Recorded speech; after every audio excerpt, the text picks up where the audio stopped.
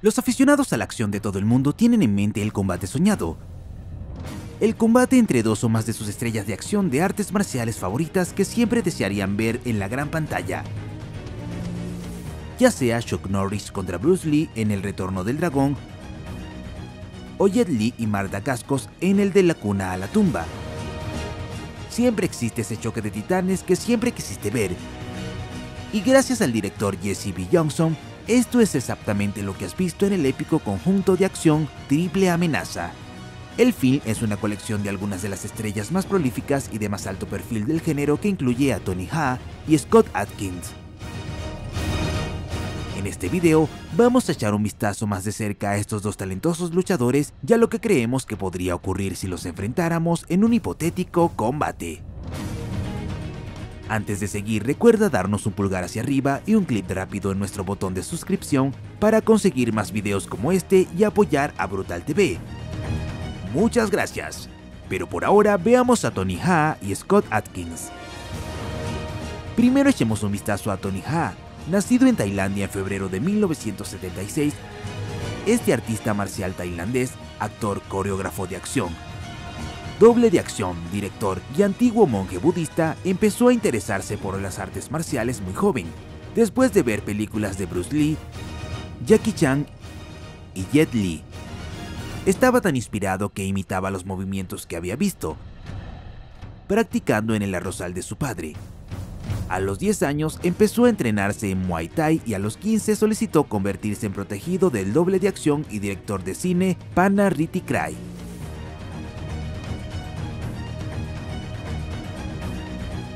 Más tarde se licenció en educación física en el Mahasarakan College tras estudiar Muay Boran, Muay Thai, Wushu, Judo y Taekwondo.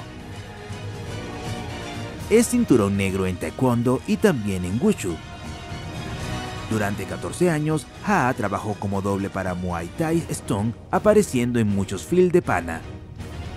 Cuatro años de entrenamiento en Muay Boram desembocaron finalmente en el primer papel protagonista de Ha en la gran pantalla, en On Back Muay Thai Warrior.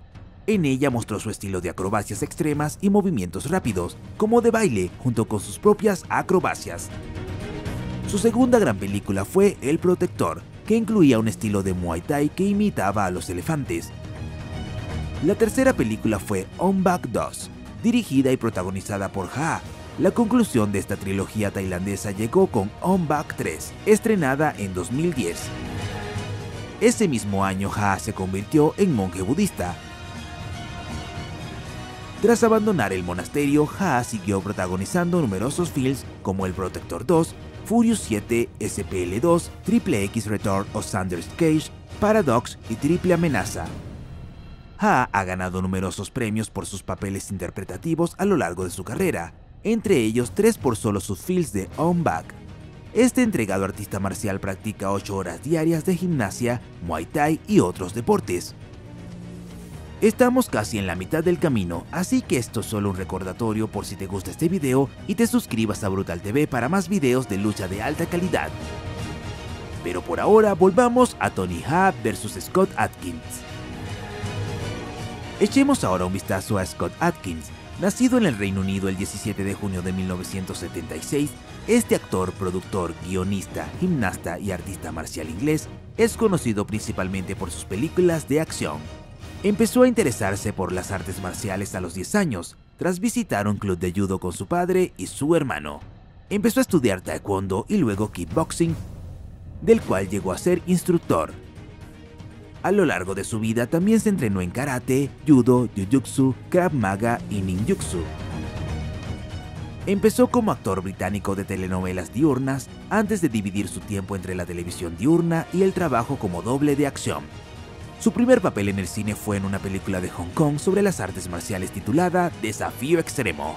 Atkins trabajó con algunos de los mejores directores de acción, coreógrafos y estrellas de Oriente, desde Wu Ping Yuen hasta Jackie Chan y Jet Li. Pronto le siguieron papeles estelares en largometrajes con su interpretación de Talbot en Special Force y Yuri Boyka en Undisputed 2 Last Man Starring. Esta fue la película que lo introdujo en el gran público con su villano retrato del luchador clandestino ruso de MMA.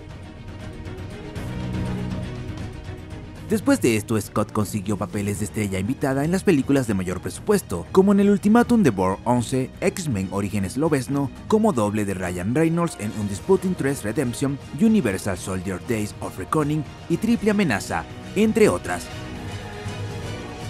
Al igual que Ha, Atkin ha ganado numerosos premios por sus papeles interpretativos a lo largo de su carrera, incluidos tres por sus películas de Undisputed. Va al gimnasio de 5 a 6 días a la semana y se entrena de forma sencilla pero intensa, con pesas y volumen. Hace pesas 3 días a la semana y 2 días de cardio centrado en las artes marciales. Puede levantar más de 100 kilos contra su propio peso de unos 80 kilogramos y hace entrenamiento de sprint para un fuerte crecimiento muscular. Estos dos tipos tienen talento por derecho propio, tanto como artistas marciales como actores, lo que definidamente brilla en la película de 2019 Triple Amenaza. Aja se le ve destacar su talento en Muay Thai, subiendo las rodillas y los codos que hacen crujir los huesos por los que es conocido desde que arrasó en On Back. Atkin destaca su arsenal aéreo y sus movimientos que desafían a la muerte, en esta película, Ha se lleva la palma clavando no uno, sino dos cuchillos en el pecho de Atkin. Pero, ¿sería este el caso si no estuvieran actuando? Esta pregunta es difícil de responder, ya que hay grandes diferencias entre ambos y la complexión es una de ellas. La altura, el peso, las medidas de los bíceps y del pecho de Scott Atkins son bastante mayores que las de Tony Ha. Esto puede dar ventaja a Atkins, pero la potencia lo es todo. Quizá el hecho de que Ha sea mucho más pequeño le daría más velocidad y por lo tanto ventaja.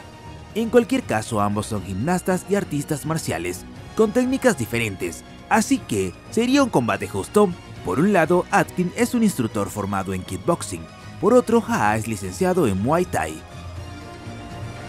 El otro punto a tener en cuenta es que las películas que han protagonizado son en un entorno controlado y no en una jaula, aunque ambos han recibido mucha formación en las artes marciales que han elegido, ninguno de estos talentosos actores participa en competiciones de artes marciales y se concentran más en sus acrobacias. Por lo tanto, es poco probable que se enfrenten, a menos que sea en la gran pantalla. Pero si lo hicieran, Ha tendría ventaja en velocidad y agilidad, y Atkin en fuerza. ¿Cuál es tu favorito? ¿Qué arte marcial te gusta ver?